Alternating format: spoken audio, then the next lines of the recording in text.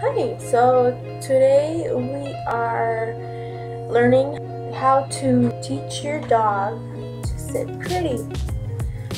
As you can see, I'm trying to get Lucky's attention with the treats.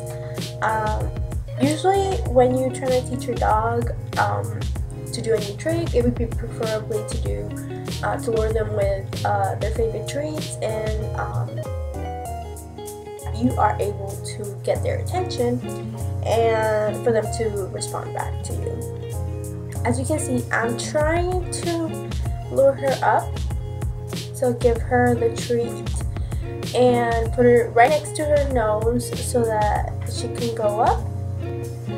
Well, you can see her, she is trying to balance herself out. She'll grab my hand, and that's totally okay. You know, this is the first stage of her learning how to sit pretty, and um, it's a way that she feels comfortable.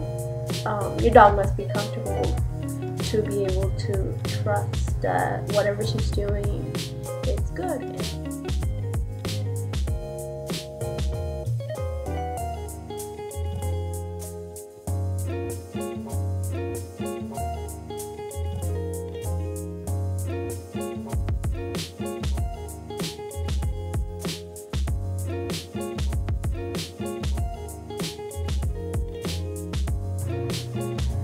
So you can see I reward her with her with a treat. And you know because she's doing good. So make sure you emphasize when she does when your dog does something good.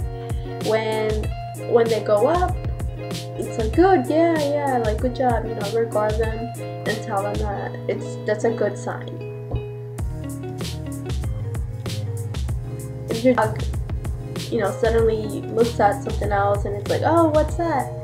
No, you know, simply call them back and, you know, make sure that you keep the focus on yourself.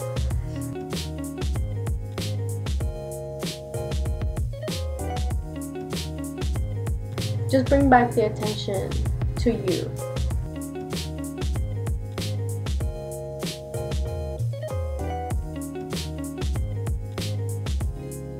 Once you have this down and your dog does the command, then now from here on it's more about repetition and it's more about uh, you putting a lot of practice with your dog and this will build a lot more closer relationship with them.